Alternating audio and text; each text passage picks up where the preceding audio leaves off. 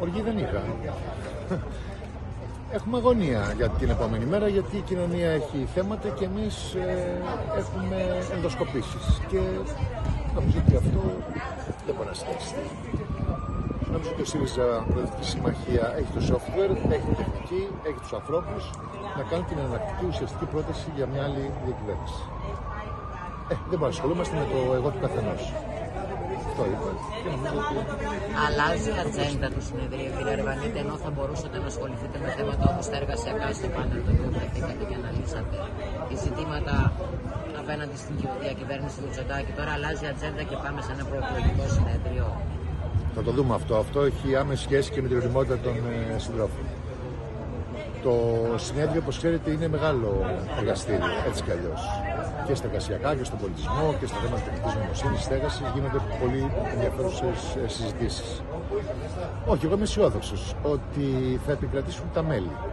Δηλαδή θα επικρατήσει αυτό που λέμε η κοινή λογική για να υπάρχει ο ΣΥΡΙΖΑ. Ο ΣΥΡΙΖΑ είναι το κόμμα της αριστεράς, της ευρωπαϊκής αριστεράς. Και αυτό ήθελα να το τονίσω. Έχω συγκεκριμένη άποψη. Και αυτό είναι και συνέχεια του προηγούμενου τρίτου συνεδρίου.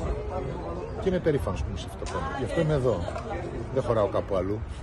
Και όπως και χιλιάδες άνθρωποι, όπως βλέπετε, δεν χωράνε κάπου αλλού. Γι' αυτό αυξάνεται το κομμάτι των αναποφάσιστων, ενώ δεν αυξάνεται καμία δύναμη σε κανένα κόμμα από τις δημοσκοπήσεις όπως το βλέπετε. Είναι δικιά μας κρίση και εμείς θα το λύσουμε. Ανακοινώθηκε νέα προσφυγή ε, στις κάλπες για εκλογή Προέδρου. Ε, θεωρείτε ότι θα πρέπει να γίνουν δεύτερες σκέψεις και να μην μπει το κόμμα σε αυτή τη διαδικασία εν ώψη και των ευρωεκλογών που είναι μπροστά μας. Το θέμα αυτό το έφερε ο κ. Κασιλάκη. Οπότε αυτός πρέπει να το λύσει.